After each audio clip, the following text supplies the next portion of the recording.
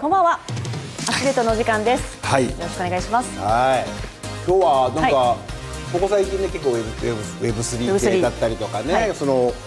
あの前々からこのファッションもやりたいよねってはい。話をしてて、ずっとしてました。したら、い。本当にあのファッション界の重鎮がほぼ全員集まったぐらいの今東京都内でおしゃれな人は誰もいないんじゃないかっていうね。そうですね。もうそれぐらい本当すごい人が集まっちゃってこれがもう、はい今日だからここでどう稼ぐかっていうのもありますが今に、まあ、日本も含めてわ我々のこのファッションって今世界的にはどういうふうな位置でいるのかいるのかとかね。そうですね。今後来るファッションのビジネスはこうだっていうのが今日は知れるんじゃないのかな、はいそうです。ね。改めてね今日のテーマはこの2023はい。年ファッションビジネスはどう稼ぐかです。ねえどう稼ぐかなんですよ、これはもうどファッションを売って稼ぐしかないんじゃないのかななんていうふうな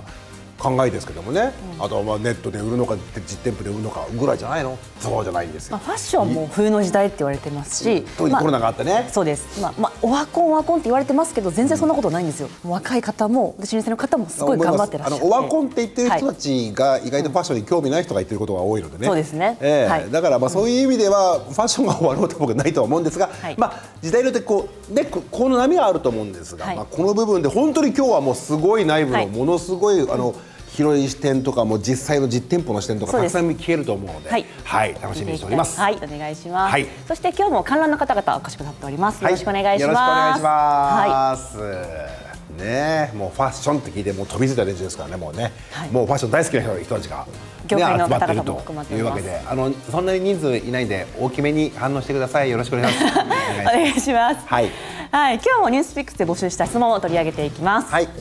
さあ、では今日の記事に参りたいと思います。えー今日取り上げる記事はこちらです。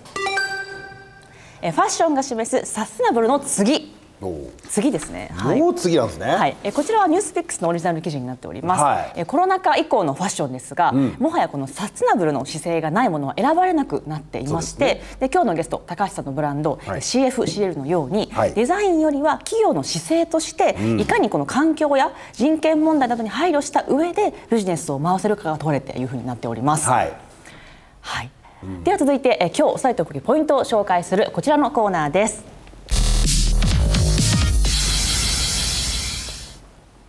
はい、このコロナ禍で縮小したアパレル市場ですが、え世界的には回復傾向にある中、まあ、日本の回復ペースは遅く今このファッションビジネスは巻き返しが必要な時にあります。おーなるほどね。まあ全体の経済の動向もありますしね。あそうですね。はいはい、ただ一方消費者のえ価値観はというと、えよりミニマリストやこの社会サステナブル志向に変化しているんですね。はい、そしてこのさらにこのファストファッションの脱却やはいデジタルシフト、そして海外への販路といったアパレル市場におけるトレンドにえ対応することが今求められています。うん大変ですね。はい、まあ以上のようなこの節目の中、えはい今後このファッションビジネスはどう稼いでいけばいいのか、このささ勝ち筋を議論していきます。はい。はい、ということで、まあね結構このニュースピックスはこのファッションとかデザインとか結構会話の中でよく重要視されるじゃないですか。はいででもなんかさっきも言ったミニマリストの話じゃないですけども、そういうとこじゃないでしょ今はみたいな風な風潮があって、はい。それとはまだ関係なくコロナっていう重たいものがあってきっと今語らないとちょっと今後の今から復活してきますからね、はい。えーこの状況でどうなるのかっていうのをファッション業界の人はどう思ってるのかっていうこと、えーどの視点なのかっていうのが僕はすごく興味がありましてしかも今日はね僕が普段本当に愛用してる洋服ブランドを束ねたボスがやってきますんでね、えーなんか革ちゃん着たね、街で会ったら絶対しゃべらない感じの怖い感じの。さっき喋った超優しい方でね。素敵な方です。えーすごいメンツが集まっています。はい、それではこのテーマを議論するにふさわしい論客の皆さんをお呼びします。拍手でお迎えください。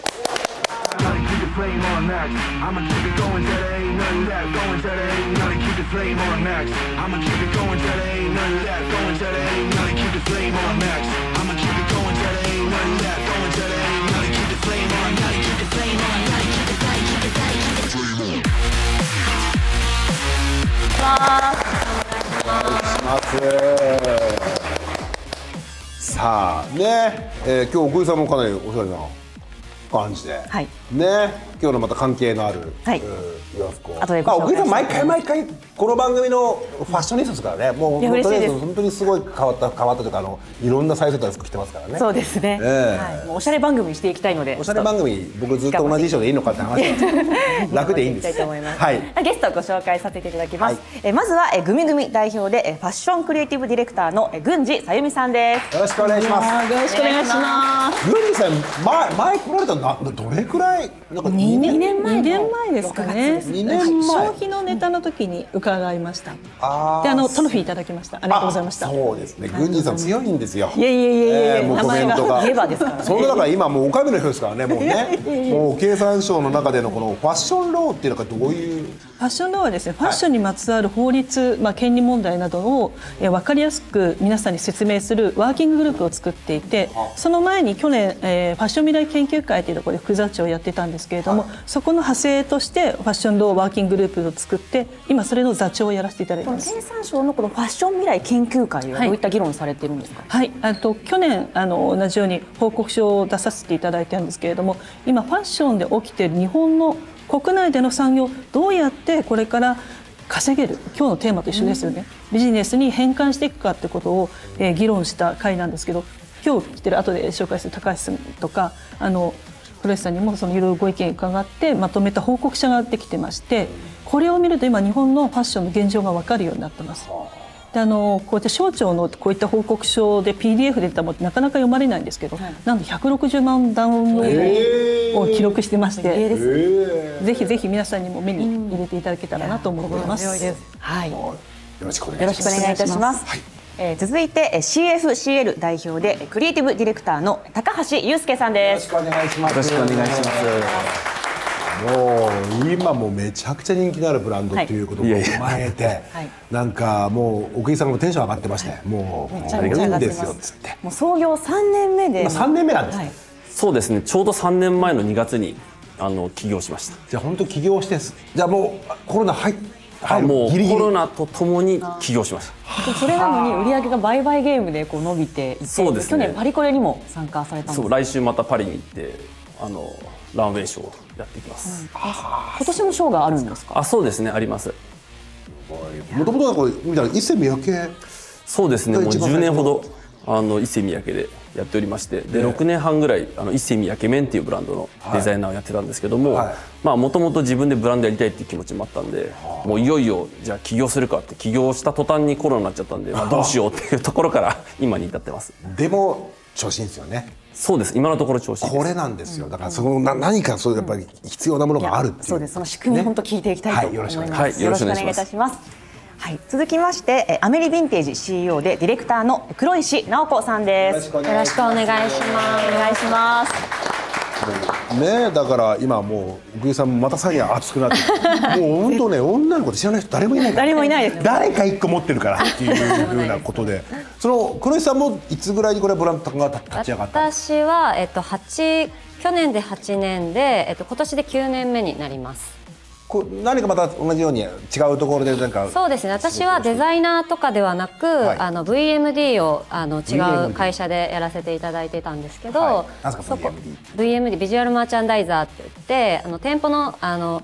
なんだろうディスプレイだったりとかウィンドウディスプレイだったりとか、まあ、それその店舗のディスプレイでどう効率よく売り上げを取っていくかっていう、まあ、仕事なんですけど。確かにファッションブランドで店舗のディスプレイって相当重要ですもんね。そうですね。あのそういうことをまあデザインしたりとかあとは結構その前社でやっていたことが VMD 以外にもあのデザインウェブのデザインだったりとか、あとそういうちょっとあの服以外のあのデザインだったりクリエーションをやっていたのであのちょっとその経験を生かして自分でブランドを立ち上げたっていうか。なるほどたくさんいろいろ話お願いします。はい、ぜひお願いいたします。はい、はい。そして来ましたよ。えー最後に TSI ホールディングスえー代表取締役社長のえー下地剛さんです。お願いしますよろしくお願いします。よろしくお願いします。本当だから今日のねあのー下地さんにおおベンチャー数風で本当嫌なんですけどいやマジで僕革ジャン好きで。で革ジャンうちに120着110着ぐらいあるんです今ね。そのうちの80ぐらいは下地さん関連なんですよ。ありがとうございます。もうショッタービレックスのブラブランドなんうんあの LHP それいわゆる上の紹介の方の、はい。えーもの B セカンズとか。でく靴とかもニューバランスが好きでっていうたまたまそこで今日来られてそこ全部束ねてるこの TSI ホールディングス。っはい。ていうこれはどれど何ブランド何個ぐらいが束ねられてるんですか？ブランドで言いますと52です52個って束ねられるんですか？無理です。ね そうここもうだからなんでしょう？でもともとはでも下さん違うんですよね？一番最初は。そうですね。あでもまあアビレックスっていう、はい。あ上野商会で革ジャンがスタートしてるショットですとか今日着てますけど、はい。まあ、そういったブランドアメリカンカジュアルの、まあ、ブランドを輸入して卸やったり販売してたっていう会社ですからまあもともとどちらかというとメンズのジーンズに強い会社形態でしたね。すごい幅広いですよね。ウェルネスからスポーツから、はい。デジタルファッション、今日私がはい衣装を協力いただい。た、あのデジタルファッションはい。のローズバッド、ローズバッドというブランドなんですけど、すごい幅広くブランド持たれてますよね。そうですね。あのもともとやはりレディースがスタートだったんですけど、あのオリジナルで言えば、まあ、そこにいろんな会社がやはり集まってきて子会社化していってそれでまあものすごく巨大な、まあ、アパレルとして総合アパレルというふうになったんですけどねでまあ、今でいきますとどちらかというともうそれをですね大きくその領域に4つに分けまして、でそれからえまあその領域の中でみんながもっと楽しく遊べるような環境を作ろうというところであの大きくそのおっしゃっていただいたウェルネスですとかえーデジタルファッションですとかファッションキャピタルとしてのレディースですとかそういったふうに大きく4つに分けたっていう、今再スタートを切ってるところです。す。げえ本当バカみたいな質問でもあれですけどやっぱりいろんなブランドは一緒になった方が強い力になるんですか？なんかそれぞれがそれぞれこうここ個性的にこうやってる方がいいような感じもするんですけどなんかあれですね。えー、とインフラはできるだけ一緒の方が当然コストも経費的にもかからないので、インフラをまず一つにしてその上であの遊ぶフィールドとして仕事としてやれるフィールドっていうのは各々で個性的にやってくださいという流れを今全体的に作っていってます。確かにそうですね。インフラ通る道はまあまあ一緒ですもんね。でそうですね。はあでどうしても同調しがちなので、やっぱりあの流行ってるとそこにみんなで走っていく傾向がどうしてもあるんで、できるだけそこはあのそれぞれがはい。しっかり文化を形成できるように、そういった考えで形文化ですもんね、はい確かによろしくお願いいたします。よろしくお願いします。さあでは始めていきたいと思います。行きましょうか奥井さんはい、まず前半ではこのファッションビジネスはどう稼ぐのか、そして後半ではデジタル時代のファッションブランドの戦い方について皆さんと議論していきたいと思います。はいではまずはじめにこのファッションビジネスはどう稼ぐかについて皆さんのお答え聞いていきたいと思います。お手元のフリップをお上げください。どうぞ。はい、どう稼ぐかですね。はい、まず読み上げていきます。まず郡司さんはえ日本のものづくり復興え国境を越えろ。高橋さんはえ外に対しては長くて広い視点、内に対しては最新の個人視点。ほ黒石さんはストーリー。最後下地さんは商店街。なるほど。キーワードが揃いましたけれども、どの方行きましょうか。たくさんの視点がありまして、はい。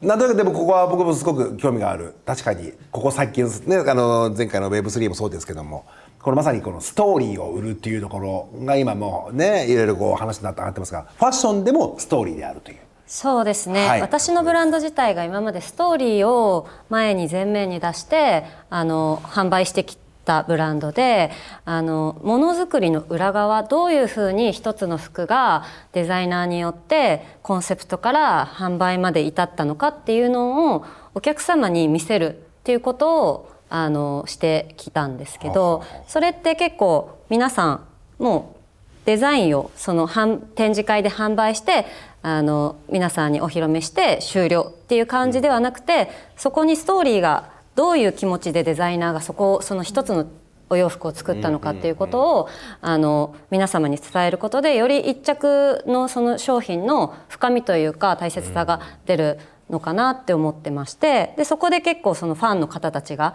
あのできたりだったりとかコミュニティができたりとかあのそういう売り方を私は今後もあの大事なのかなっていうふうに思います。このストーリーはやっぱウェブ中心に進めていくって感じ？そうですね。ウェブだった SNS だったりもそうなんですけれども、あの作り手を結構見せるっていうのおはー。あの今までなかった手法だと思うので、作り手がどういう思いでどういう風な手法でこのひ商品を作ってきたのかっていうのをあの結構あの今っていろんな本当にでブランドがたくさんあっていろんなあのものが溢れている情報が溢れてる中でやっぱ深みをつけるのってそこなのかなっていうふうに思います。好きになる一個の理由ですからね。ものを知ったってことか、そうですね。なるほど。高橋さんのおっしゃったその個人視点っていう部分でもやっぱストーリーが必要になってくるんですかね？えっとどちらかというと、えっと長くて広い視点というところにストーリーっていう言葉が存在していると思います。で今あのおっしゃった内容っていうのは僕の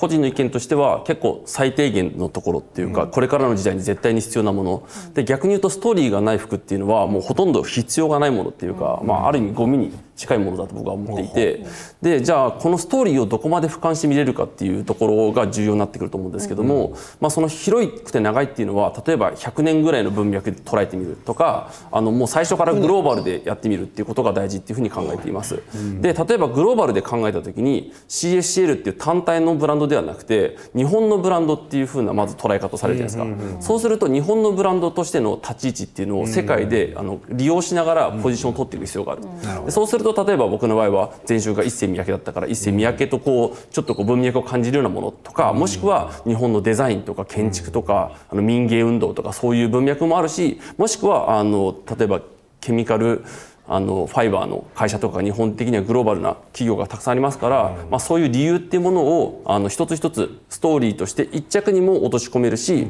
まあ、あの全体としてもあのブランド全体としても戦えるような、まあ、ものを作っていくことであのブランドとか企業の価値っていうのが高まっていくんじゃないかなっていうふうに考えていちなみにます外っていうのはどこの外なの？会社の外。会社の外です、日ね本とか。会社の外。えー、と最初からマーケットを広くて長く捉えるっていうことです。でうちというのはじゃあ会社内っていうこと社内ですね。なるほど。で基本的にはそれはもうコンプライアンスとかガバナンスとかのところだと思うんですけどもやっぱりあのもう本当に数年単位であの考え方とか価値観っていうのは変わってくると思うんですよね。そういう時にやっぱり、まあ、あとそのなんていうんですかね。あのツールとかアプリとかどんどん最新のものが入ってきて効率的になっていく、でそれを採用しながら例えば LGBT の視点とかもあのなるべく柔軟に早く取り入れたりとか、まあ、そういうことを内側でやっていくっていうことだと思います。高橋さんのブランドって海外比率が75%じゃないですか。そうですね。特にどこの国で売れているんですか？いや、えー、とまんべんなく売れていて、えー、と一番購入してくださっているクライアントはイギリス香港韓国アメリカです。実感値として日本のブランドっていうのは海外だとどういう立ち位置で見られがちですかね？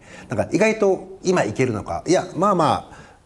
特に音楽とか芸能はもう相当難しいんですけどファッションって言うとやっぱり先人がいるじゃないですか、はい。そういう意味では結構それが馴染んできているとか、まあ、まだまだ日本だと少ないファッションって基本的にやっぱ西洋であの生まれてすごくこう文脈が太いあの強いものだと思うんですけどもやっぱり日本人って西洋コンプレックス結構強いっていうふうに感じてるんですね。だからなんか日本ナイズされた、えー、と海外の文脈で日本でマーケットにしてそれを輸入してあの自分たちのオリジナルとして売っていく分には全然構わないんですけども日本から海外に出ていく場合は海外のものを真似したようなものを海外に持ってっても相手にされない。そうですね。なのでやっぱり日本人だからこその視点とか日本で作るからこその理由っていうのを明確に自分で言語化できないと戦えないっていうことです。言語化ですね、はい。だからこそ郡司さんのこの国境を越えろっていうのもつながってきますよね。ねものづくり復興だと。はい、まさにあのこの間ついこの間メンズコレクションであの高橋君の CFCL の展示会に行った時に本当にたくさんのあの海外から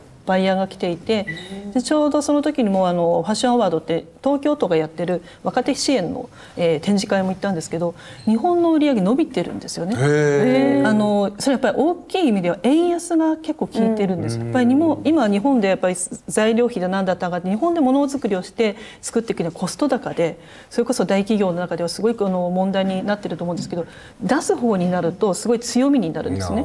で、まあ、日本っていうのはまだまだ輸出国として、えートータルの売り上げでいうとやっぱり素材の方が出てる布とかの方の売り上げの方が何倍もあってまだまだお洋服製品として海外に行ってる分ってまだ数百億円のレベルなんですよね。でまだまだそこに需要があるというところとやはりさっき高橋君が言ってるところであの海外のもう溢れ返ってるんですものが。はい。ですすでにいろんなものがもうヨーロッパのものっていうのはもうありとあらゆる文脈のものが出てる中で日本の文脈ってまだまだ戦える筋があるんです。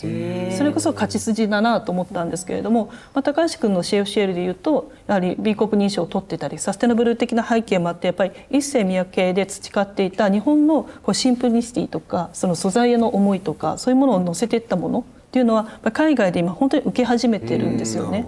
でパリとかだとやっぱ脱ラグジュアリーみたいな流れも出てきてただ高いハイブランドだけがあの優遇されるものじゃなくて何かやっぱ新しいストーリーを世界中で探してる時期なんです。でそれで、まあ、ここでも書いてるその日本のものづくりに立ち返ったものっていうのはまだまだ競争力があると思ってます。繊維でもたくさんあるじゃないですか、はいどこが特に勝ち筋なんでしょうか？繊維もでもいろいろですけど何がどうというよりは日本のその精緻なものづくりですよね。私が知ってるのは富士吉田にある小さな本当にあの家族経営の町工場の渡辺繊維さんって渡辺テキスタイルさんでは海外からの発注がバンバン来るんですよ。横で見てると。メールとかファックスで「えこれなんか有名今言いませんけど某有名ブランドの裏地は世界中のものはそこで全部作られてたりとか。そういうこう小さな町工場でも世界で戦える力を持っているっていうのはやっぱり日本のものづくりの力なんですけれども今このものづくりを支える人たちが今本当に途絶えちゃうかもしれない。ですね。町工場にある機械がもう明日動かなくなるかもしれない。パーツがないみたいな状況にもなってるんですけど海外からこうやって日本の、まあ、本当にいろんなこう技術力の高さその個人的な技術力とか手作業の仕事とか面々とある歴史がで作られてきたものに対してのリスペクトがすごい高まってるんですよね。やっぱり日本のヨーロッパにない文脈を持ち込んでいける力っていうのはまだまだ勝ち筋があるんじゃないかなと思ってます。ね、その中で海外いろいろあるのが商店街だと。ね、でも下地さんこの韓国であのゴルフウェアのブランドが170億円売り上げてるっていうものすそうですごい売れね。うちの。パーリー・ゲイツはそうですし、まあ国内以上に売れてるっていうところは。しかもコロナ禍ですよね。そうですね。で今度、まあ、アメリカの方にも輸出していこうという動きになってて、まあ、先ほどから出てるその国内での生産に関しても、まあ、まあ我々も工場を持っててでやっぱりそこを工場からお店まで一貫してものが作れないかということをずっと検証しながらやってるんですけどやはりあの技術の衰退っていうのがやはり素材から何からいろんな一部は早くてでも一部は非常におっしゃってるように世界中からリクエストがあって需要がもう高いというところ。やはりそこはクオリティがもう特化してるレベルのところっていうのが非常に評価されてると思うんでそういったのは一緒にゴルフブランドも含めてあの機能素材の開発っていうのがものすごいあの高いレベルにあるんでまあ縫製自体は他の国でやったりしたり日本国内でやったとしてもまずオリジナルの素材自体はもう日本でセットしたり、そういったことであのいろんなことが多様化してきてるっていうところその中で商店街っていうはい、これはもうブランドにおけるですね、はい。考え方としては、まあ、あの先ほどから我々たくさんのブランドが、まあ、偶然にもこうやって揃ってきたっていう中で、それぞれがやはり商店街のようにいろんな個性的なお店が集まりながらそれで各々が、まあ、同じエリアにはいるファッションというエリアの中にはいますけどその中でより光っていくためにどうすればいいかっていうことで、まあ、一つ商店街のお祭りとしてやるならば一緒にやるし、まあ、またあのそれぞれがやっぱり日々あのライバル心を持ちながら競争して多彩なものを作っていく。商店街のような感じでやっていこうっていう。そうですね。そういった意識がやっぱりものすごくそれこそさあのストーリーっていう言葉もございましたけど、そういったあのみんなである部分では目線では一つのエリアをやっぱり楽しくあ面白いお客さんがいろんな人が集まってきてよりあの気持ちよく帰っていただけるようなそういう楽しさのある場所あの場を作っていくっていうことがものすごく大事なことなんじゃないかなというふうに考えてます。確かに。今やっぱ円安じゃないですか、はい。円安化でファッションビジネスの戦略っていうのはどういうふうなものがありますか？あの国内で売る部分に関してのそのじゃあ円安と円高である時の価格帯っていうのはやはり僕自身、まあ、うちの会社の中で考えていることっていうのはそんなに大きな影響を持たないと思ってます。極端な差が出てこない限りまだまだ、えー、と内包できる部分であるかなと思ってます。それのためにいかにブランドの価値を作り上げていくか、まあストーリーであったりその何をもってしてこのブランドを作り上げていってるのかっていうところに関しては非常に、えー、とそれぞれたくさんあれと突き詰めていってます。ですからそのやっぱり選んでいただけるその支持していただけるための、えーブランド力っていうのはやっぱり価格ではないっていうところは非常に大きいかなっていうふうに考えておりますので。でまた外に行く場合とはまた違うですね。海外とはまた戦略が違ってくる。あのですから、まあ、価格の視点というのは非常に重要なポイントではありますけど、そこにはですね確実さ以上に誠実さがあればいろんな意味でデザインというものがありますので、そこが一つあのマーケットにおいては超えていける力を持つんじゃないかなということは考えてます。郡司さん。はいかがですか円安化のファッションビジネスの戦略そうです、まあ、おっしゃってるように、でも原材料が上がってくるっていうところのマイナス面っていうのはすごく大きいですね、はい。今日本で。またその原油高だったりとかそういうこう今のエネルギークライシスみたいなことはもうダイレクトに入ってるし、まあ、もう一つで一方で言うとその中国でものづくりをしているところ結構多いんですけれども日本で今まであったあのものづくりのものが今工場がやっぱり外に出てってしまったんですよね、やっぱりあの平成時代にかなりこう日本の国内産業が落ちていったのはそのものづくり産業が出ていったの。はどんどんどんどんやっぱり低産アリさんだって大きい企業が大量にものを作るためにやっぱり中国だったり外にあのものづくりの現場を置いていったってところで今そのちょっとコロナ禍にあってそこがこう安定的に物が供給できなくなったりこういろんな正常で変わってくるっていうところがあってみんながこのコロナの3年間の間に何をするかというとやっぱり日本のものづくりにもう一回見直そうってなっ。たんだと思うで TS さんも TSI さんもこう新しい工場をこれからこう投資されてたりとかしてやっぱりこう国内のものづくりっていうところに逆に転換するという欠点としてはプラスになるし、まあ、輸出という部分では、はい。あの海外での競争力が高くなってきててやっぱりこの間ちょっとパリ行ってみるとやっぱり全体に値段が物価高がすごいんですね。で意外とそのデパートで見てるものも、まあ、500ユーロでも意外とペラペラなものが多くてそうすると日本のものづくりで持ってった時に明らかにクオリティが高く戦略的に売れるんですよ。ただ皆さんこうデザイナーの方が値段が安い COC よりもまだ安いと思ってるんですよね。なのであのもっと強気の値段をこれから張れるんじゃないかと、COC あのあのこの円安を機会に強気に出れる日本を取り戻すっていうチャンスなんじゃないかなとは思うんですね。こういうやっぱ外的なことで日本のものづくりの考え方が変えてきた、変わっていけたらなと思いました。そうですよね。じゃあもう今日のこの日本を背負うお二人のあの新興ブランドの方に聞いていきたいんですけれども、この今年っていうのはこのまあ新しいブランド、今 D2C とかもあって結構ブランド立ち上げやすいようになってると思うんですけれども、今ってこの新しいブランド立ち上げる方がまあいい年だと思いますか？いい年かどうかはちょっとわからないんですけどあのそれこそさっきおっしゃったみたいにその戦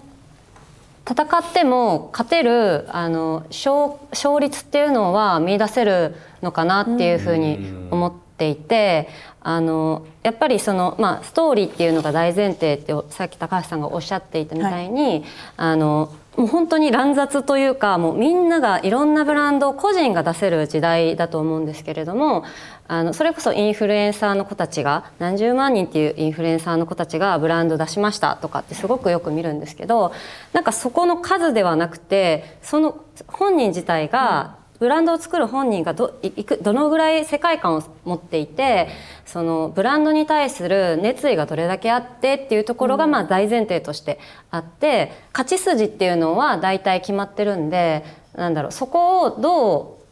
う新しい売り方今まで SNS で例えば D2C でしたらあの SNS で洋服を紹介したりとかそういうブランドが多かったんですけど、もう次の時代はそういうブランドっ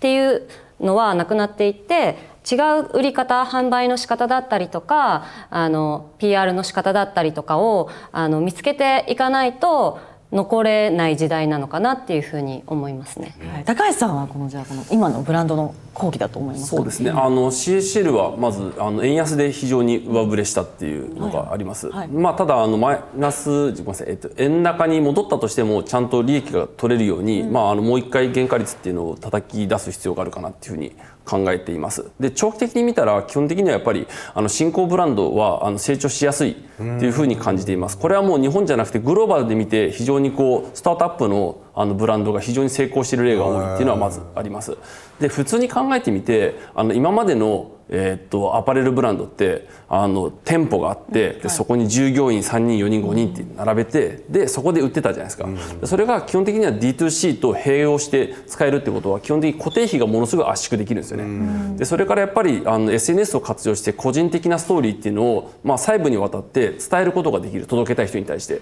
ていうのはやっぱりその大手よりも結構その負ットワーク軽くできるっていうのはあります。そうするとやっぱり、まあ、あのどの産業もそうですけども、まあ、あのニッチなマーケットをしっかり狙っていくっていう意味で言うと、まあ、ある程度のキャパシティは市場にあるのかなというふうに考えています。うん。国内でも全然あるっていやもちろんです。ただやっぱり国内はもうあの長期的に見たら少子高齢化なんで、まあ、最初からグローバルを見ないとやっぱりちょっとビジネスとしては厳しいかなというふうに思います。うんそうかねでもおじいちゃんおばあちゃんが好きな服とかもあってもいいなと思うんですけどね。そう。です年齢別のセグメントというかカテゴリー分けっていうのは結構もう通用しない時代になってきてるかなこれ通用しない。で CSL 購入いただいてるお客様って10代から80代まで実際にいますあそうか。でもそこ子供服もありドーンとし通したブランドが強いよってことですよね。そうですね。はあ。やっぱりそのマトリックスの中で端をしっかり狙えるかどうかっていうのは結構重要なるほど。なるほど。やっぱりでも CFCL のお洋服ってこうニットがベースなので比較的その年齢の幅があっても着やすいのとあとまあジェンダーもフリーなんですよね、今着てらっしゃる服も全然メンズでもレディースも着れるのでそれ最初からそのカテゴリーを壊していくとカテゴリーえークラッシャーみたいなのはすごくこれから勢いがあると思いますね。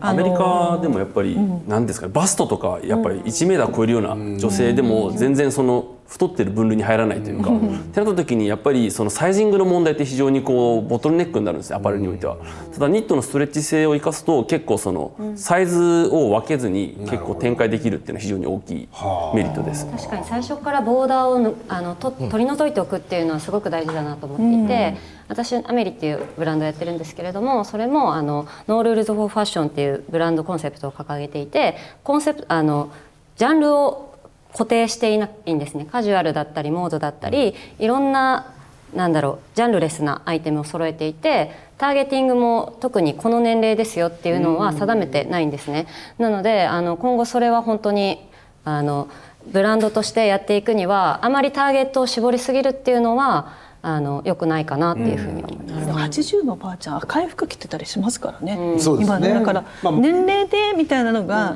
もっと今の私たちがおばあちゃんになってる人もっとなくなるんじゃないですかね。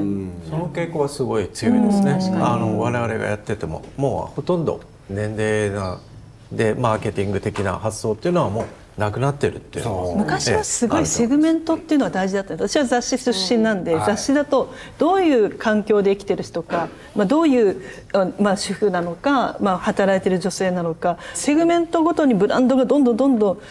まあ、TSI さんもすごいもっとブランド数が多かった時もいっぱいあってでもそれがちょっと今変わってきてる。もっとこうスリム化してあの売れるものに投資をこう集中させるみたいな流れとあとさっき言ったジャンルレスにしていくことで幅を取っていくみたいなブランドが増えてきてるなっていう気がします。今日もそうですけども伝統あるブランド1000億規模の,、あの売上のブランドと何十億っていう規模のブランドで戦い方あのか勝ち筋って違うと思うんですよ。なんかその規模によるあの戦略っていうのはどういうふうにこう変えていたいと思いますでそれはでもやっぱり1,000億いくってなるとやっぱりこう国内だけでもダメでしょうしあとこう年齢ターゲットも広く取っていくっていう意味ではある程度もう安くても売っていけるようなものの幅を出していく。あとやっぱ商商業的に効率性をどう作るかっていうところになっていくと思うんですよね。なんですけどやっぱりこういうこうまあ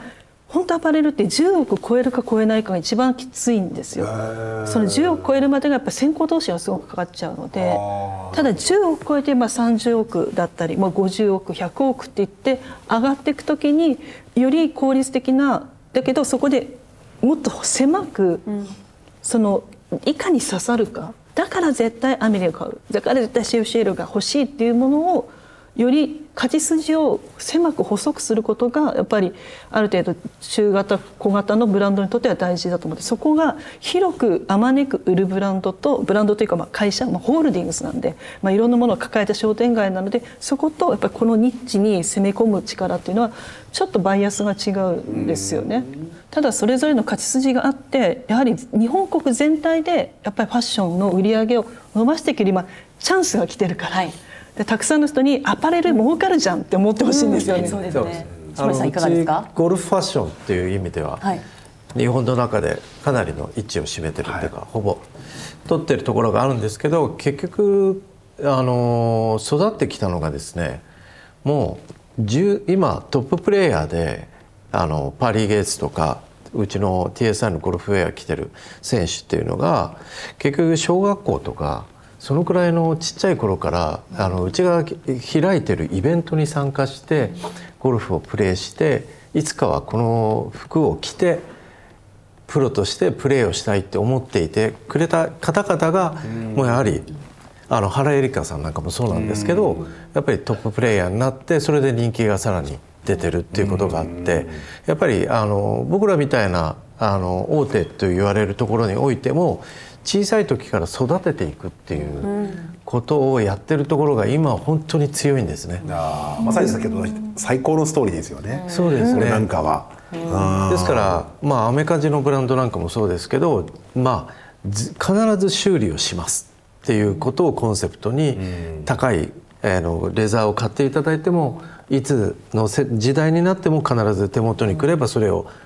修理してお渡しするとかそういったあのホスピタリティも含めた形でお客さんと対峙していくと、まあ基本的にはもう長続きをするし、その中でどう進化していくかっていうところに非常にこだわっていけれ続かば。ない限り進化できないですもんね。それは。大事。ですよね、今すごく大事なことをおっしゃってファンを作るかっていうの、まあ、今日のストーリーとかもそれもそうだと思うんですけど、やっぱりどれだけファンをつかめるかってそこも長くお付き合いができるブランドになるかっていうのはやっぱりこう大きい企業にとってはとっても大事なんでしょうね。そのコツっていうのは一つ挙げるとしたら何ですかでもやっぱりこうストーリーなのかストーリーというよりはやっぱ圧倒的な優位性が必要だと思うんですよ。それがデザインなのか誰々が着てたっていうこともそうですしうんでもやっぱりちょっとこれから世代がちょっと変わっていくんじゃないかなと思ってるんですよ、今のアルファ世代になってくるともう物理的なものじゃない価値が出てきてるかな、でブランドもそうなんですよ。結局、えーブランドもやはり物を育てていったりこうやってお客さんと一緒に成長していきますけど、まああのセレクトショップっていう業態がございますけどそういったのもずっとやってきて思うのはやはり常に言われてきたのはデザイナーを育てる、やっぱりそこのやっぱり焦点がいかにあのそれぞれのいいものを目利きで選んできてお客様に届けてでやはりデザイナーを育てていくか。でブランドを育てる側においてもやはりいかにお客さんが一緒に成長していってくれるかっていうところにかけていく必要があると思うので、はい、ありがとうございます。ここで前半戦は終了です。すごいな。ファッションの会が結構経済や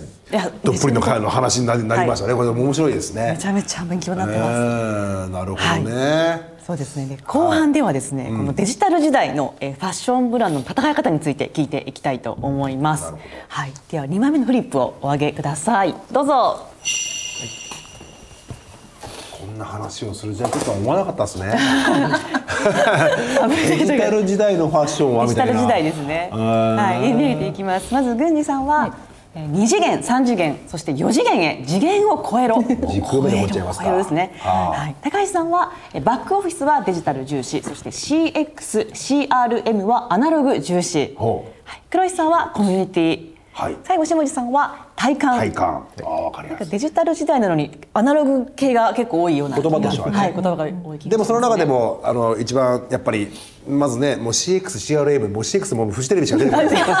その高橋さん。このねバックオフィスとそのいわゆるバックじゃないとこの CX、CRM ってなんですか？これは。あのすいません。あんまりこういう業界用語使いたくなかったんですけどちょっと あのパネルがちっちゃかったんで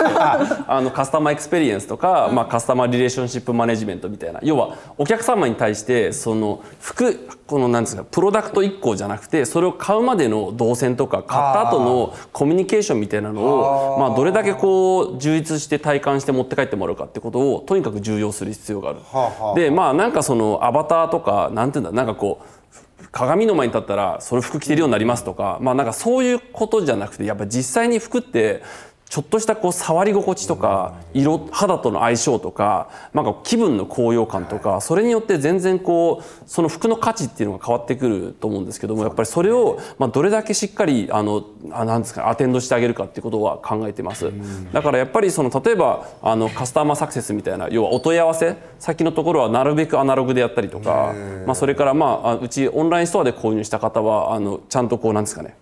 自分たちで開発している香りを香水としてこう一緒におお届けしたりとか、まあ、QR コード読むと、まあ、あの音楽が流れるようになったりとかしていて、まあ、要はその EC サイトだとやっぱり試着室で購入するっていう体験ってないんでやっぱりなんかこうワクワク感みたいなものをどれだけこう蓋開けた瞬間からこう訪れるかもしくは開けた瞬間にもう香りするんですね。あそうですね。はあ。とかやっぱりそういうことがすごくあの大大事にしてるというか、まあ、五感をちゃんとこうみんな使って、あの商品っていうのを感じてもらうってことを大事にしています。でまあ見えないところはもうとにかくその販管費を圧縮していくっていうことが大事、はい、もう本当に固定費販管費っていうのでやっぱりそのデジタル化っていうのはマストかなと思うんですけどそれをお客様にそうなんか強要するというかなんかそのなんかあのアテンドする必要はないかなっていうふうに考えています。うん。確かにあの洋服屋さんに行ってこの洋服屋さんこの曲流れてるよな。あここここ結構ロックなんだ。あジャズだったんだ。おハードテクのバンバンみたいな。確かにその感覚で買う買わないって結構ありますよね。下地さんも体体感体感。そうですね。体感。で、あの非常に近いところがあって、はい。デジタルってどうするって言った時に、まあ、今僕も、えーうちの会社全体でやってるのが PLM って言いましてプロダクトライフサイクルマネジメントということでいかにもう最終一気通貫でそのものを作るのが可視化できるかでそこに対するデジタルの投資なんですけど、あのそういった意味では作るところっていうのに関してクオリティをより上げるあと時間をより節約するというコンパクトにしながらいかにクオリティに高いものを作ってお客様に届けるかっていうところをもう全てあの一個一個可視化できるような、でまあアジャイルっていうかこういう回っていけるような状態にしていってる。でそれであのお客様に渡す手前でのそのサービスというのはよりあの販売も含めてデジタルでもまああのホスピタリティ高くどれだけアピールできるかっていうふうになるんでどちらかというと売る側はもう熱を持ってあの熱量でお届けしていく。いかに説明をして理解を求めながら一緒にやっていけるか。お客様の探索がお互いに見えてるような状態になるんですけど、そのディスプレイやあのコーディネートも含めてそういったような形にする。その代わりバックヤードおっしゃる通りです。もうバックオフィスやバックヤード、あのというものはいかにデジタルで効率化していくかというところですね。デジタル時代にどうやって体感をこう届けるんですか？はい、やっぱり触ることやっぱり着ることっていうことで、その時代の気分も含めて全てをまあ肌感で吸収していくっていうことになっていくと思うんで、そこはやはりあのいかに触っていただけるかっていうなんとかデジタルの中では触ってもらうかそうそう感覚を作っていきたいと思います。ゴルフコンペとかも体感の例ですかね？そうですね。あそっかやっぱり全コンペ開いて。てコンペ開いたりやっぱりお客さんに来ていただいてあの可動域を見ていただいたりそういったやっぱりストリートも同じですけど、はい、スケートボードにしてもゴルフにしてもそういった意味ではまあアクション体を動かすというところにおいては、まあ着用いただけるその体感っていうのを非常に強くさらに持っていきたいなっていうふうに思います。なるほどそうですね。ちょっとアナログな感じなんです、はい。私も実際ちょっとその二次元というかその郡司さんが書かれている「超えろ」って書いてるんですけどあの去年ちょうど NFT ファッションの NFT であのドレスを販売したんですね。であのちょっとなんだろうそういう二次元二次元三次元の世界っていうのを全く私も分かっていなかったのでちょっとあのトライしてみようかなと思ってやったんですけれども、やっぱりちょっとファッションで二次元でその例えばアバターに着せるだったりとかっていうのが、なんかあまりしっくりきていなくって、実際にやってみたもののやっぱりファッションって自分が着てその着心地だったりとか高揚感を得て初めて嬉しいもので自分のアバターに着せてっていうのはちょっと私も違うかなって思っていてでそのアメリのお客様が結構そのコミュニティっていうのを独自で作られていたんですね。で私が別に私たちが仕掛けたわけじゃなくてもうそのお客様同士のコミュニティがあって例えば新作を発売するとそその商品の着心地だったりをあのね。ここれがどうだったかとはいかどういうデザインだったっていうのを実際なリアルな声でお客様同士で話し合ったりとかその SNS 上に上げて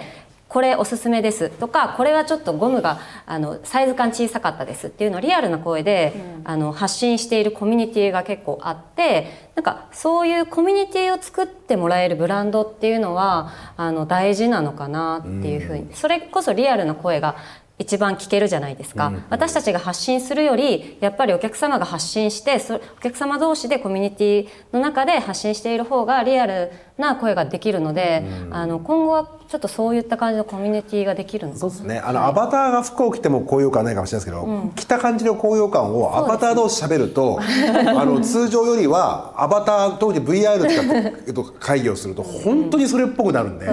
通常のツイッターでやり取りっていうものじゃなく、違うんだよ。あのあのなんかシュワってやつがそうそうシュワって感じがっていう その感じになれるんですよね。確かに。そういう意味では Web3 はコミュニティにはものすごく向いてると思うんですよね。なんかすぐ NFT とか DAO とかの方に行きますけど、意外と僕はもう通話ツールでも相当僕は特化してていいなと思うんのですよ、ね。方がなんかつアパレルが使うツールとしてはそっちの方が現実的なのかなっていうふうに思いますね。という一方いやもう次元超えちゃえと4次元ってことはもう時空超えてますから もうねもう愛ぐらいしかこの次元を超えれないんですけどラブですね2次元3次元4次元を次元を超えろという。これはだか今の、まあ、おっしゃってる話まさにそこの話なんですけど今リアルかデジタルかおわみたいな言い方をされてたじゃないですか。例えば今デジタルで売れてる。で、えーここ数年コロナでものすごい EC 売り上げ伸びてるんですよね。で伸びたんでここすここ1年ぐらい実は EC の伸びがちょっと止まって今皆さんあの銀座と私この間銀座久々に行ってものすごい人が前歩けないぐらい、まあ、もちろんそのインバウンドが来てることもそうですけど、日本のお客様がリアル店舗にものすごい勢いで戻ってるんですね。だけども私たちが作ってたシステムってもうデジタルでいろんなことがバックヤードバックオフィスもみんな効率化されてるしそうするとまあそれを今 OMO っていう言い方をよく言われてたんですけど、はい、あのオンラインがオフラインをマージするっていうのを言ってたんですよね。要は全てがデジタルであの全てが解決している中でリアルも存在するって言い方をしてたんですけど、私ここの境界線が本当になくなっていくことなんだと思うんですね。でこの次元を超えるっていうのはファッションの稼ぎ方のことにもちょっとつながってくるんですけれども、単に今お洋服は物理的に作ってそれを着てもらうことで、えーいろんな素材を使ったりゆあの輸送コストをかけたりしてものを作ってるわけですけどその部分での稼ぎ方はもちろんそれはそれで頑張るんだけど他にもデジタルで稼げる方法ってあるよねっていうのは例えばその NFT でもいいんですけれどもスキンに売ってる。で今私ちょうど今日あの学生に午前中教えてたんですけれどももうデザインを描くときはもうスキンにもできる。例えばあーフォートナイトで売れるスキンも売れるしファッションもリアルで売れる。そのどっちにも軸足持っているようにしなさいよ。あなたって20代で。これからのあなたたちの顧客はアルファ世代になる。でこのアルファ世代今小学生とか皆さんの息子さんとかが出てきた時にこのリアルなお洋服へのさっきちょっとこう表も出てたんですけどの価値観だけじゃなくてデジタル上の中での消費っていうのが伸びてくる、例えばゲームの課金だったり、はい。スキンの課金だったりって時にそこにもちゃんとファッションのデザイナーものを作る人たちが稼ぎ筋を見つけてほしいんですよね。その次元がどこであるかデジタルであるかリアルであるかとかもう全部関係だし。どんなチャンネルでも設けられる仕組みを作っといてっていうのは私の思いですね。で物を作るっていうことはさっき言ったように私はものづくり回帰ってことはすごく大事だと思ってるんですけどものづくりの意味が例えばデザインを描くだけじゃなくてそのものを発想するっていうところっていうのはやっぱり人間の根源だと思うんですね。デジタルとファッションってあのデジタルって基本的にやっぱプラットフォームじゃないですか、でファッションってコンテンツなんですよね。で結局まあコンテンツっていうとまあ例えばアニメとかゲームとかもしかしたら音楽とかとまあ基本的には一緒でまあ音楽だとしたらそれがこうレコードなのか CD なのかもしくはそのオンラインなのかとかってあんまりこう関係ないじゃないですか。それでいうとやっぱりそのコンテンツはもう逆にどこ行ってもあのある意味成長は青天井なのかなっていうふうに思うし、まあ、キャパを奪い合うことなんですかパイを奪い合うことってまあ基本的にないんですよね。デジタルのアナログきっとないでしょうね。そうですよね。でやっぱりそのまたグローバルで戦うっていうのはあのプラットフォームでも一緒じゃないですか。基本的に GAFA とかそういうところが日本に進出してきて、まあなんかこう楽天とかそういうなんていうんですかね。あのミクシーとかそういうところがこう和製のあのプラットフォームとして戦ってみたいなところがあるけれども、まあ、それってどう考えても英語を使えるあの国で頑張ってる企業の方が強いに決まってるじゃないですか、だけど日本ってまあ日本語を使えしか使えない例えばあのサプライチェーンの方とかってたくさんいてでそういう人たちとその共通の言語を使いながら共通の価値観でコンテンツを作っていけるっていうのは非常にこう世界で見た時に、まあ、強みになるっていうのはありますね。でそれがプラットフォームが整えば整うほどデジカデジタル化されればされるほど、まあ、強みっていうのが多分際立ってくるんじゃないかなというふうに考えています。あそうですよね。だからもう勝ち筋が本当にもういろいろある中でっていうところですよね。そうですね、その中で僕普通最近なんかわかんないけど、そのもうファッションとかミニマリストの話ですよ、ファッションとかもういいよ。とかいろんな意見あるじゃないですか、なんか僕そういう人たちとなんか僕は洋服大好きなんですよ。買うとかもう本当にきっと収入の半分以上はもう洋服じゃないかっていうぐらい僕洋服大好きなんですけど、あのななんかこううまい言葉がないかなってこんだけのあの賢者がいらっしゃるんで ファッションってなんつうんですかねこういうところが素晴らしいんだとかっていうのなんか意見持ってる方いませんか？急にごめんなさい全然関係ない話。なんかあのえ私ちょっとはい。い。いですかいやこのあの年末になんか WWD サステナサミットみたいなのがあってそれであの出たんですけどまあなんかその笑い話であの国連の貿易機構がまああのファッション産業がまあ第二の汚染産業であるみたいな感じで言ってみんなこうそれを取り上げるんですよね。だけどその逆を言うとあのみんなあのファッションが2番目に汚染してるの分かってるんですけど1位も3位も知らないっていう状況があると。でそれってまああのつまりあのファッションに対するあの関心度が非常に高いっていうことなんですよね。だからファッションって結構人の気持ちを変える力っていうのを持っているのでなんかファッションを通して社会に対して訴える訴求する力っていうのはあるんじゃないかなっていうふうに思います。だからそこが結構そのファッションのそのいいところっていうか確かに。ワクワクするっていう個メッ人的なセージが詰まってますもんね。そうですね。確かにファッシちょうョンってどコロナが始まった時に、はいまあ当然我々店もお店も閉まったわけです。で EC だけで、まあ、社会全体がすごく暗い状態になった時に、うん。我々が会社の中で話したのが僕ら何ができるかなと。いう洋服屋っていうかファッション屋として何ができるかって考えた時にやはり出た言葉がファッションの力を信じよう結局ファッションの力を信じることで、まあ、今までそうやってもうおっしゃるように元気をもらったり勇気をもらったりまた晴れの日は強く出たり、そしてやっぱりあのいろんなシーンで人生の中でやっぱり寄り添ってきてるものなんでやっぱそこをやはり信じてやっぱり力強く打ち出していくことが大切なんじゃないかというところであのそういうキャンペーンをしてやっぱり会社全体もちょっと明るく元気になって、そういったことでやっぱり力を得るものだしエネルギーやパワーだと思うんですね。いやありますもん。この服着ると滑んないってやつあありますか いやあるんですよこれが。私もなんかそこはすごくパワーっていうお言葉であの感じたのがあの結構その DM だったりとかでお客様の声をすごく直に受けやすい、あの代表取締役だと思うんですけど、あのその中で結構そのすごく印象的だったのがちょっとうつうつ病だったりとか、精神的に病んでしまってお家に引きこもってしまってけれどもアメリの洋服を見てこれを着て外に出たいっていう気持ちになったから出ることができました。だったりとか、ある一種の薬みたいな、なんか何よりも薬ではないけど精神的なものを癒してくれる存在なのかなって思っていてやっぱり世界になくてはならないものなのかなって思います。つまんないと思うんですよ。そうですね。なかったら。それもただ飯食ってねね排泄して寝るだけの動物じゃないんだ僕たちはっていうそうなんですよね。ねだから彩りをやっぱ与えてくれるので、そこはあの今後どんな世界になろうが私はなくならないのかなっていうふうに思いますね。私やっぱりこうファッションのじ仕事も30年以上やってきててで本当にあのコロナになってから本当に時代の転換点だったなと思ったのは、一番びっくりしたのがこの間パリ行ってラグジュアリーブランド買ってないんですよ自分が。あで買ったのは今まではもう毎年今まではもうものすごい最後空港であのテタックスのあのレーンに並んでバーってやってて 一個も買わないんですよ。でそれがなんでかなと思ってで一個だけ買ったのがあの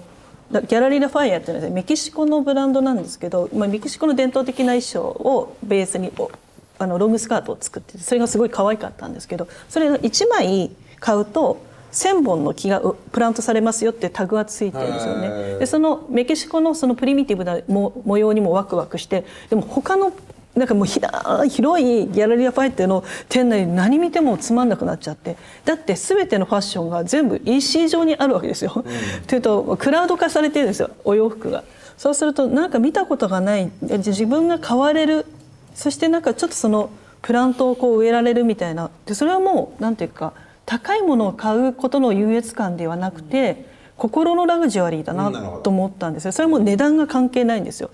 でそれ250ユーロかなだから4万ちょっとぐらいなんですけどやっぱりこう大量生産のものだったりとか、まあ、大量生産でもいいんだけどなんか思い入れがあるものだったり、着てワクワクしたりとか自分の好きな人に「あ可愛いね今日その服」って言われても一一生着ていたいと思うじゃないですか。結構ファッションって一番体に近いものだし心に響いてるものただのプロダクトではなくて私たちはそういう心に近いものを作り出してるんだろうなって思って素晴らしいですね。います。はい、では最後にですねこの2023年このファッション業界は何々時代っていうのをもしつけるとすると何時代になるのかっていう皆さんに聞いていきたいというふうに思うんですけれども、ね、はい。一番めんじゃあめんどくさい難しい質問ですけどね。ちょっとなんか欲しいんですよどうしても番組としては。私最大のここ数年私が生きてる、まあ、50年ちょっとですけどここ50数年の中でも最大の転換期と思ってて大チャンス到来。チャンスだと。チャンス到来。で特に若いブランド若い思想若いシステムが一番強みになる時代が来ると思います。あの大企業ももちろん大事なんですけれどもやっぱりシステムとあのカスタマーが若返っている中でシステムを新しく構築あの今の時代に古いものを合わせるより新しく作った人が勝ちな時代になってくるので、まあ、ちょうど今その経産省でやってるファッションローワーキンググループでも最初からそういう新しいオーダーを身につけてスタートするとあのやっぱりこれからの10年20年があの戦いやすい企業になり得るので、私はこれからの若い人たち特に20代の人たちにファッションで戦ってほしいしその戦うスタートアップをファッションでやる人に投資をしてほしいんです、たくさんの人に。なるほど。でそれだけの伸び筋が今日本にありますよと。なので今までやっぱり大企業ってやっぱりこう企業の利益重視ですけどこれから個人利益だったりこう一人一人一人一人クリエイターの利益をみんなが応援できるでちょっとさっきできなかった Web3 の中でも私は競争の時代が来ると思っていて共に作る。共に作る時代。DAO とかやっぱそういうことだと思うんですけれどもやっぱりこれから資本主義がやっぱりちょっとずつ変わってきてコミュニティの時代みたいになっていったりいろんな人が支え合ってブランドを作る時代。それからすごいこう円錐形のこうなんだピラミッド型の企業ではなくて多分カスタマーも含めて顧客も含めてこう円型の社会に変わっていくところにファッションってやっぱりそういう時代を作り出す力があると思ってるんですよね。ありがとうございます。高橋さんはいかがでしょうか？そうですね。丸々時代ってつけるとしたらまあじゃあ急成長時代ですね。ただまあやっぱり成長に欠かせないのがやっぱり人材なんですよね、でもうこれがとにかくもうボトルネックです。でなんでかっていうとあのアパレル産業のあの平均給与水準っていうのがものすごい低いんですね。でさっきのファッションのそのワクワク感とかっていうのは多分ほとんどのあの人がか過去に経験したことあると思うんですよ、例えば大学生の時になんか服変えたらめっちゃモテたとか髪型変えたとか、なんか何かギフトしたらすごい喜ばれたとか、だけどじゃあ就職活動する時にアパレルの企業に調べていこうっていうふうに思う人って意外と少ないんじゃないかと思うんですよね。でそれってやっぱりファッションって給与安そうだしなんか大変そうだしみたいな感じで。なんで給料安いんですか？多分あのにそのファッションに夢があるっていうふうに言ったと思うんですけどもある種夢の搾取っていうのを従業員にも絶対やってると思います、はい。だから CSC は今のところアパレルの中での最高水準の給与を払うっていうふうに決めていてるいるんですけどもこれがあの社会全体の中での給与最高水準になるっていうのはまだまだ程遠いかなというふうに思ったりもします。だけどやっぱりその DX のためには欠かせない人材っていうのがやっぱりデジタルマーケティングとかは結構必要なんですけど、まあ、給与を結構しっかり払わないと獲得できないんですよね。でもやっぱりそういうところもしっかりあの含めてでもその人たちだけ給与が高いと社内おかしなことになっちゃうんですよ。でそうするとやっぱり全体的にボトムアップする必要もあるしあのこれからは本当にあの優秀な人材っていうのを、まあ、取っていかないとあの世界に戦っていけないっていう危機感もあるんで、まあ、そこもしっかりとあの自分たちでコミットしていく必要があるそかなことも成長させたいっていう意味で急成長とそうですね。いうふうな思いも込めて。なるほど。はい。じゃあ黒石さんいかがでしょうか、ちょっとさっきも私は革新時代かな、はい。新しいあの革命の革革命の革、はい。であの今まで例えば本当に私がブランドを始めた8年前ぐらいから D2C っていう言葉が生まれてきたんですけどあの D2C っていう名前ってもう私は終わっているというか、なくなってしまうんじゃないかなっていうふうに思っていて、あのフォロワーがいる子がブランドを出してそのブランドが売れるっていうのはもうなくなってしまうというかあの私もさっき郡司さんがその才能のあるかに投資した方がいいっていうふうにおっしゃってたんですけれども、あのまさに会社で今やろうとしていることなんですけどそういうあのフォロワーだったりとか SNS の数字とかではなく本当にあの技術やあのデザイン性だったり世界観のある子にあの投資してその子がブランドをやるやらせてみたいなっていうふうに思っていて、そういうこうちょっと発掘していきたいなって思っててるんですね。なんでその今までのやっぱりここ数年の売り方とやっぱりファッションの販売の仕方っていうのはあの変わっていくし売れるブランドっていうのも変わっていくと思うのであのそういう子たちが今後あのすごく羽ばたいていくのかなっていうふうに思いますね。学校教育とかにねなんかファッション科とかあったらいいのにと思そうですよそこが一番問題で日本ってあの大学で専門的にファッションを教えるとか実はないんですよ。ほぼほぼないんそうですなんですか。海外専門学校しかない。そうなんです。専門学校はベースで例えばセントマーチンイギリスのセントマーチンだったり FIT っていうファッションの、えーニューヨークにある学校もそうですけど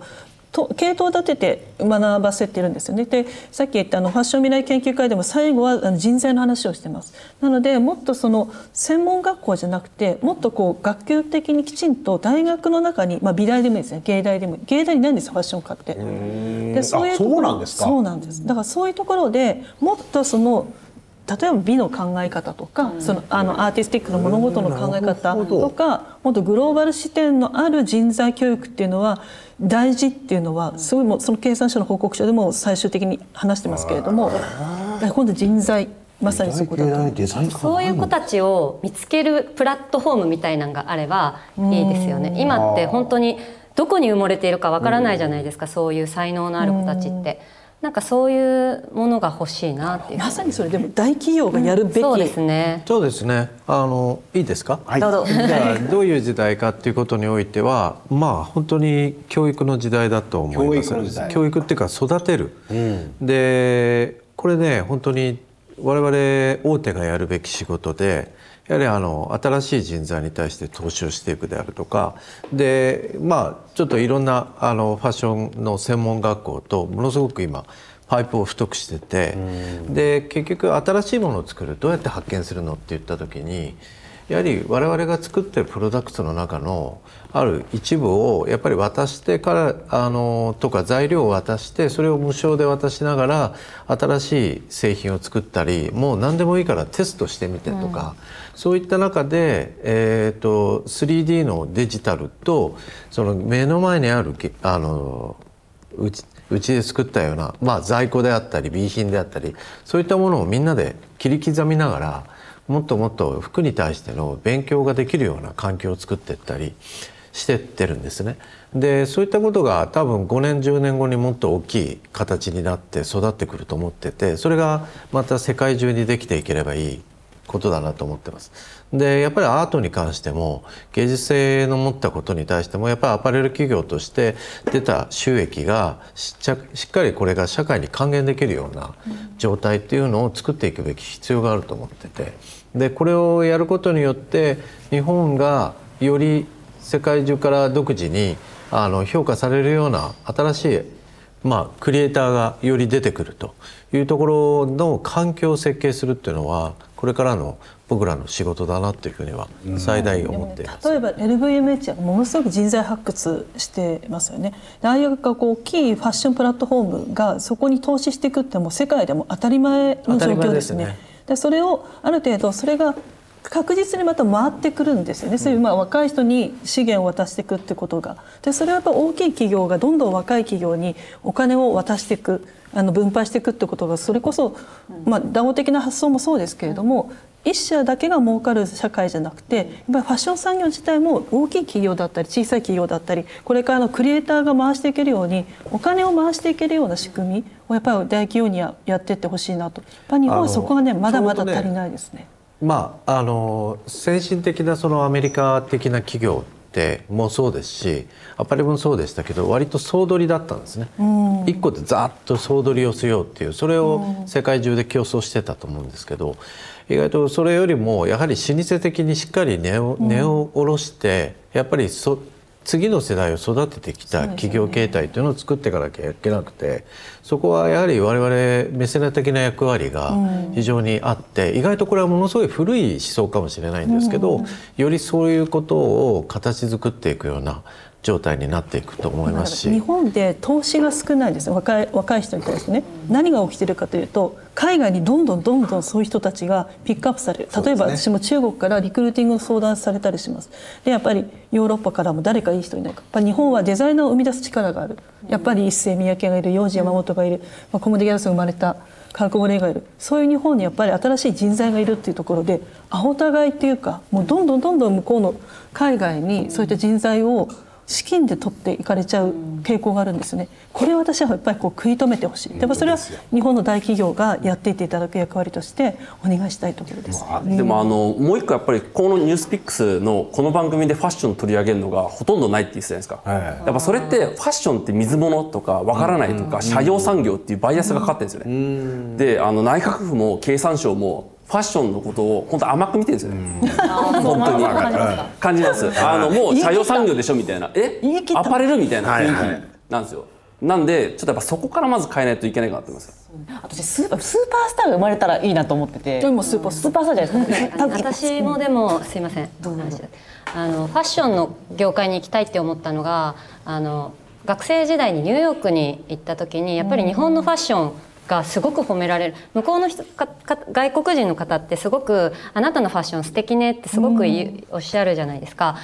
あれでなんかそのああ日本のファッションってこんなにあのみんなに褒めてもらえるのに海外で成功してるのってユニクロだったりとか、まあ、ハイブランドもあるけれどそ全然ないよねって思って日本のブランドってもっと海外に出て成功できる可能性あるのになっていうふうにその時単純に思ったんですね。なのでやっぱりそのそこのしょあの可能性っていうのがすごくあるあの産業だなっていうふうに思いますね。うんいや本当に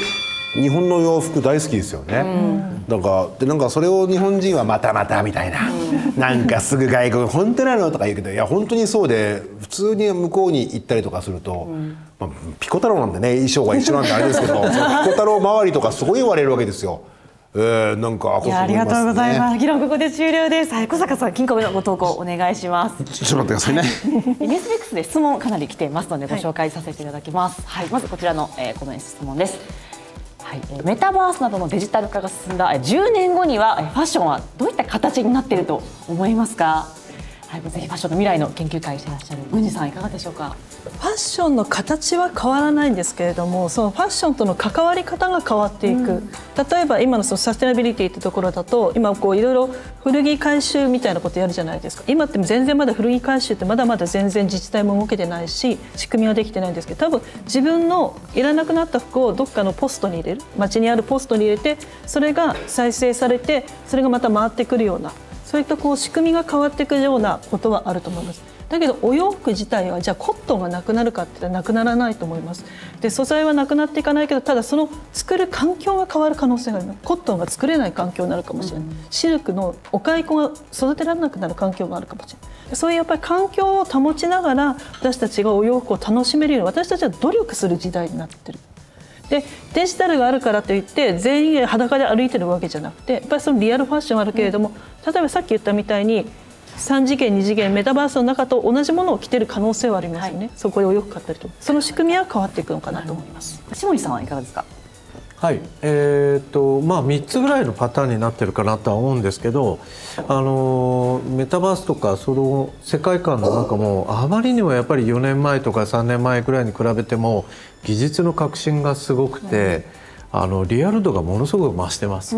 ですからそれがよりやっぱりそこは進んでいくと思うんでいかにその体感っていうふうに書いたリアル感との連動ができるかっていうふうになってくるビジネスとよりお客様のニーズもうい要するにデジタルの世界の中から外れたあのこじんまりとしたお店としての役割でそこにファンが来てくれて一緒に作っていく。っ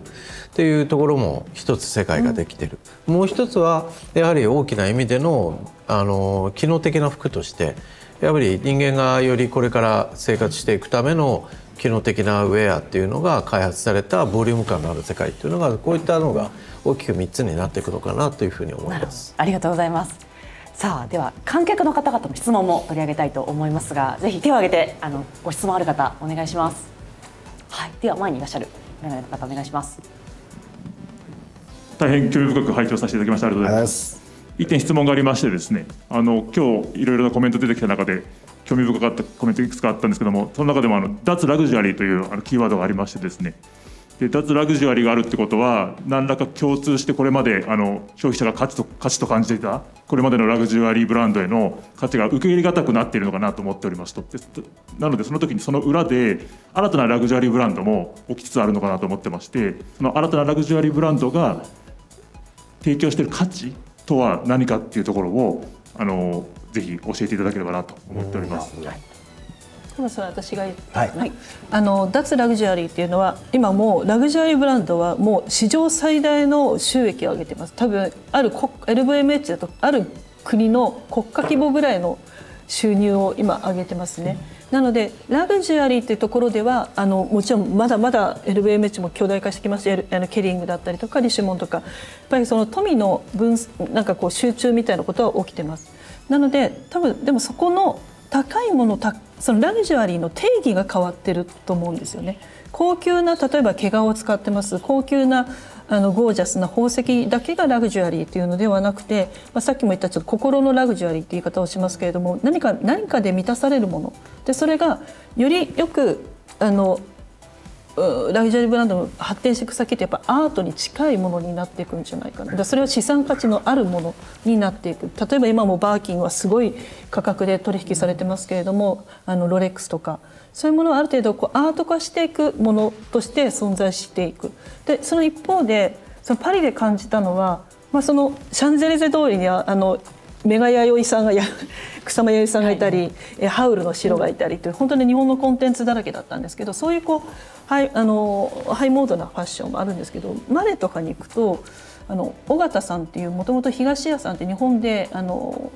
えー、薬物作業をやってるお菓子屋さんあるんですけど、そこの方が出してるお店はすごく人が集まってたんですよね。でそれは日本的な例えばそこは和菓子のお店なんですけれども、えー和菓子と日本のお香とお茶と、えー器を売ってるんです。でそういうのが結構あの昔はすごいハイファッションあのハイファッションとかハイラグジュアリーを買ってたような方がそういう日本のお茶だったりとかを買ってこられてその空間を楽しんでた、日本のその思想を楽しんでた。やっぱりそこが心を満たすものに少しずつこの外面的な満たすものだけじゃなくて、心を満たすもの。でそこには日本の商機があると思ったのは思想だったりとかものづくりだったり工芸だったりものを持ってるというので、それはラグジュアリーとはもっと拡大していくし今の思ってるラグジュアリーと変化していくんじゃないかなというふうに思ってます。いやありがとうございます。い、やでは小坂さんから金庫目の紹介をお願いいたします。だから今日は実はすごい言葉が全部こういろんなところに入り組んでてこう切り取るのが難しくて逆に、はい。